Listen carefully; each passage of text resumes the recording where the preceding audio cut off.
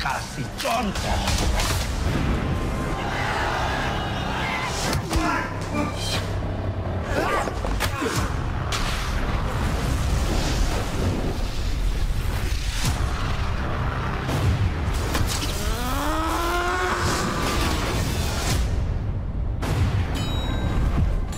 Sekarang waktunya anak-anak yatim bangkit.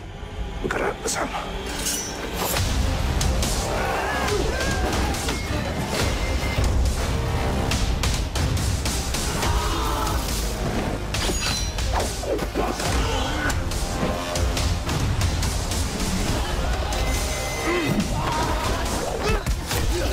Kamu siapa?